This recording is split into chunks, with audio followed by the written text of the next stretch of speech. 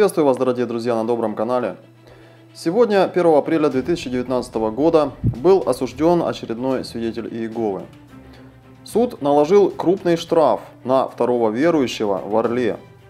Признать Скрынникова Сергея Владимировича виновным по части 2 статьи 282 УК РФ и приговорить к штрафу в сумме 350 тысяч рублей.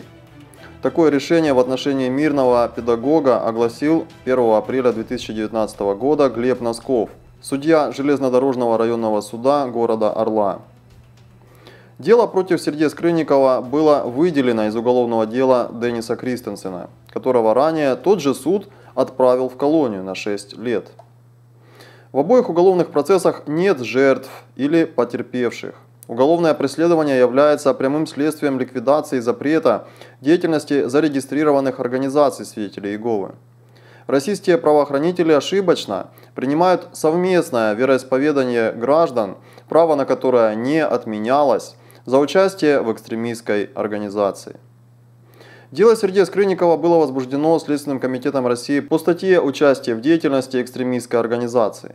С верующего была взята подписка о невыезде.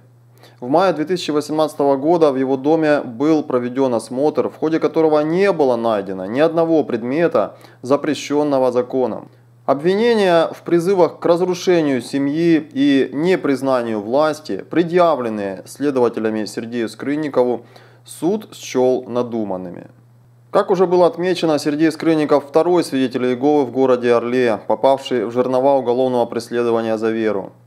Сергей рассказал, что помогает ему не сдаваться, каким был его путь к вере, что он чувствует, находясь под уголовным преследованием. Когда Сергей впервые познакомился со свидетелями Иеговы? Это произошло в 1973 году, когда мне было 11 лет. Мы жили в небольшом селе на востоке Украины.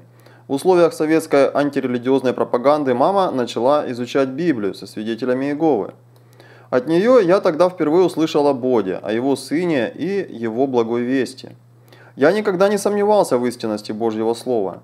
Эти знания глубоко легли в мое сердце. Но знание истины обязывало строить свою жизнь в согласии с евангельской моралью. К этому я тогда не был готов, и моя жизнь пошла по плохому сценарию. В 25 лет я уже злоупотреблял алкоголем, потерял работу, потерял семью – и решил вернуться к маме в родное село в Мануйловку. Как Сергей пришел к настоящей вере? У мамы были подпольные издания журнала «Пробудитесь», и она специально оставляла их для меня на видных местах в доме. Я постепенно переосмыслил свою жизнь. Понял, что я слышал, что говорит мне Создатель, но не слушал его. Начал интенсивно изучать Библию. Предложил маме переехать куда-то подальше от моих друзей-собутыльников. Мы продали дом, переехали в Торез, где была община свидетелей Иеговы. Сопоставляя библейскую истину и полученный мной негативный опыт, я понял, где истина. В 1989 году после долгих поисков я принял крещение в религии свидетелей Иеговы. Изменилась ли жизнь Сергея к лучшему? Я упомянул, что из-за моего разгульного образа жизни мой брак распался. Мы с Ниной развелись и разбежались. Через какое-то время Нина узнала от подруги, что я стал свидетелем Иеговы, и не могла в это поверить. Но все же она решилась написать мне письмо. Это стало первым шагом. У нас с Ниной уже была дочурка, которая без меня пошла в первый класс.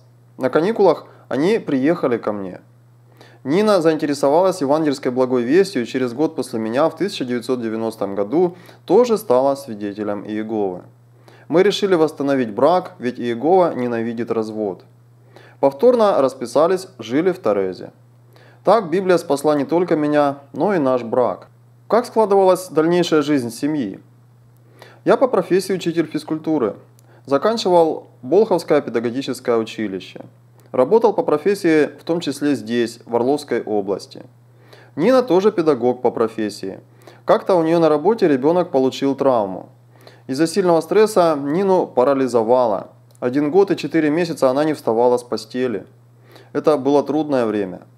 В один прекрасный день Нина вдруг говорит, «Хочу пойти с тобой в проповедническое служение». Я отговариваю, но она настаивает на своем. Делать нечего – Одел ее, поднял на руки и понес. Так мы прошли примерно 20 метров до соседей, где я посадил ее на скамейку, и она начала разговаривать о Библии с соседкой. Через 15 минут мы вернулись домой. На следующий день точно так же 30 минут, затем час.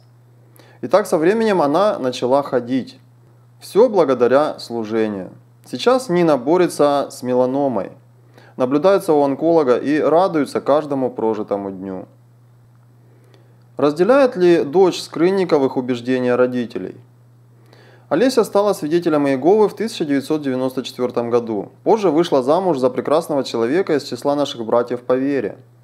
Когда мы переехали в Орел, чтобы ухаживать за родителями жены, Олеся со своей семьей тоже переехала с нами. Четверо из пяти ее детей родились уже в Орле.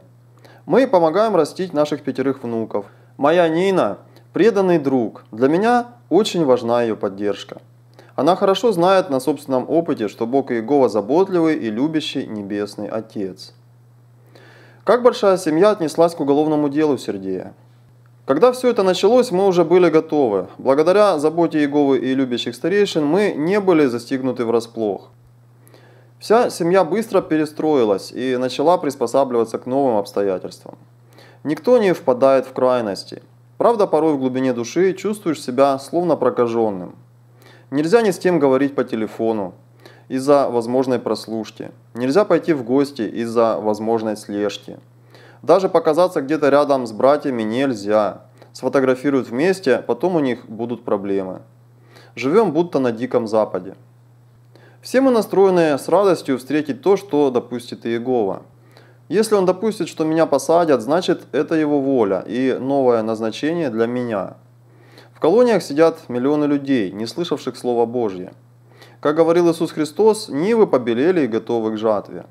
Я готов ко всему и верю, что мой любимый Бог Иегова меня не оставит. Каждый день Он наполняет мое сердце миром и радостью, и так будет всегда. Нас с вами, безусловно, радует, дорогие друзья, что Сергея суд оставил на свободе. Его не засудили на три года тюрьмы, как требовал прокурор. Однако он будет оштрафован на 350 тысяч рублей. Будет ли это решение обжаловаться в апелляционном суде, пока неизвестно. Мы можем наблюдать за ходом событий в России дальше и узнать, как закончится этот процесс, докажут ли свидетели Иеговы пытки в Сургуте и многие-многие другие процессы, которые сейчас происходят в России, мы также наблюдаем на нашем канале. Если это видео было информативным и полезным, поставьте обязательно под ним пальчик вверх, подписывайтесь на канал, чтобы не пропускать новые видео, нажимайте на колокольчик, чтобы получать уведомления. До новых встреч!